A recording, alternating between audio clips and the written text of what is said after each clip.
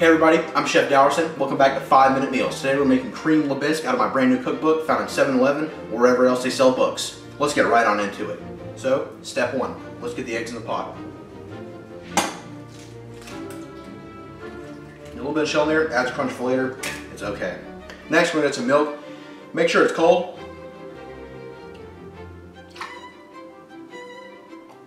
That's good. All right, next we're gonna put that with the eggs in the pot.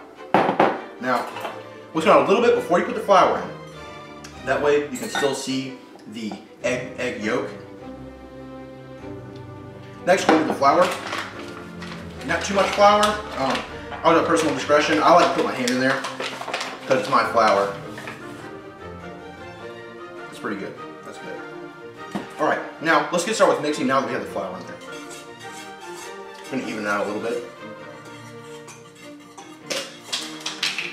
Oh, drop my spoon. Okay, now let's get back to it. Let's get some good oil, first. We're gonna do this. I'm gonna pour a little bit in here. Nobody ever likes when I go over, but I like going over just to make sure. Put that in there.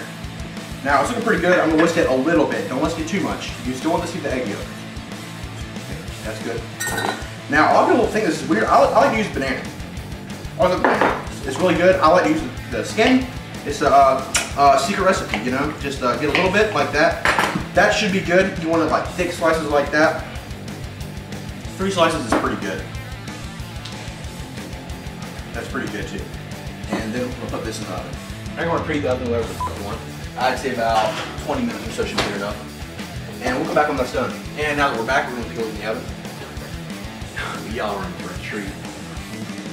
My God. Now, if you have a sweet tooth like me, I can put a little bit of whipped cream on it. All right, that looks pretty good. Um, if you don't have a spoon around, it's fine. Just use one of your spare things, kind of like recycling. Wow. This turned out amazing. Guys, I love this meal. Hope you did too. Remember to pick up my book in stores, 7-Eleven, wherever else they sell books. I hope you have a great day. Okay, now let's get back to it. Um, we're gonna put some bill in here first. That's the bill in here first. That's the bill first. That's the best thing to do. I like to do that. Grandma always spanked my hand when I did that, but Hold on, let's hold on, let's redo it before it gets too bad. okay. And I like how you went to unscrew the cap and it just flew off. that was perfect.